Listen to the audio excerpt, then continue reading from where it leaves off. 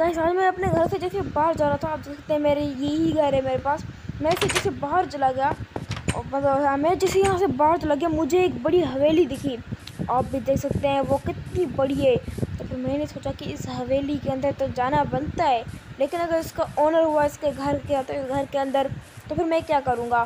फिर मैंने सोचा मेन गेट से नहीं जाते और साइड से चलते हैं, अंदर बीकन भी है तो फिर मैंने क्रॉस कर लिया है। हम साइड से छुप कर चलेंगे।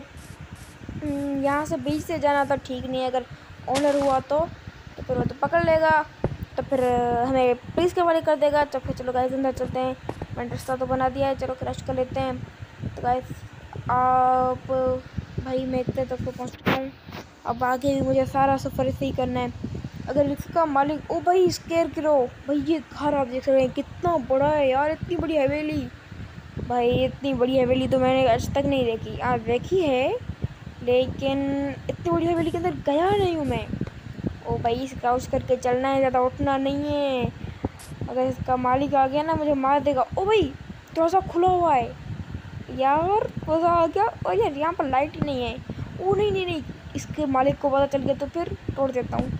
ओ भाई, फिर से पता चल गया होगा, यहाँ पर कोई तो है शायद। थोड़ा सा देखते हैं। ओ भाई, शायद रूम है। ओ भाई, ऊपर जेल है। अगर इन्होंने मुझे पकड़ लिया तो फिर मुझे इसी जेल में बंद कर देंगे। भाई, ओ भाई बीकन भी है। भाई, ये घर तो बहुत ही अच्छा लग रहा है। लेकिन यार, ये ये फ्लोर कैसा था यार? बहुत ही बेकार था ये घर पूरा टूट चुका है यार। अच्छा मुझे नहीं लगता इधर कोई होगा, कोई रहता भी होगा यार। एक बेड पड़ा है बस, ये लाइट भी है, तोड़ दो ऐसे बकवास लाइट ये भी बकवास, तोड़ दो। सारी लाइटें मैंने तोड़ दी हैं क्योंकि मुझे ये कमरा बहुत ही ज़्यादा अच्छा लग रहा था। और इसमें मैं रहने वाला हूँ क्योंकि मैं तो एक एंटिटी हूँ मतलब मैं भूत हूँ, भूतों को तो अंधेरे में मज़ा आता है ना। और ऐसी हवेली में कोई ऐसी हवेली मिल जाए, जैसे कि ये मुझे मिल गई है, बहुत ही अच्छी सी। और ओ भाई तख्त भाई तख्त। और ये क्या सीक्रेट डोर है? जैसे ही चेस्ट में क्या ही पड़ा होगा।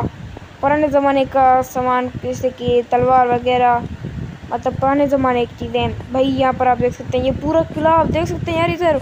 वो सड़े हुए ब्लॉक लगे हुए हैं। ये पूरा बहुत ही ज़्यादा पुराना सा है।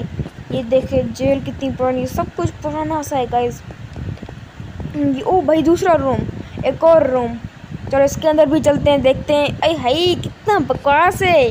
थू, मैं इसको मैं इसको टोड़ा दूँगा। हाँ और भाई, यहाँ पर बहुत कुछ है। और मुझे ऊपर तो कुछ दिखा। भाई, ऊपर कुछ है, ऊपर तो कुछ है। भाई, मैं तो जा रहा हूँ उसके पास। आपने नहीं देखा कि मैंने क्रिएटिव यूज़ किया? ये आप नहीं देख सकते। और, बस हमें ऊपर जाना है। और आपने ये भी नहीं देखा, मैंने ये ब्लॉक तोड़ा, मैं क्रिएटिव में आपने नहीं देखा। हाँ ये बीकन की लेयर ऊपर जा रही है। और आपको दिखा देता हूँ बाहर से, और आप बाहर से भी इसका इंट्रो तो देख लें, इसको कैसा दिखता है। ये, इसको बनाने में बहुत ज़्यादा मेहनत लगी है, आप बाहर का भी देख सकते हैं। तो फिर, इसके लिए प्लीज़ यार लाइक कर दें यार, बहुत ही ज़्यादा मेहनत लगी है, बहुत ज़्यादा। इतनी मेहनत लगी इतनी मेहनत लगी तो आ, आप तो सोच ही नहीं सकते कितनी मेहनत लगी यार। मैं पूरे तीन घंटे दस घंटे लग गए मुझे फिर जाके बनाए और ये सीक्रेट वेंट को खोल देते हैं अंदर बार कोई भी आ सके।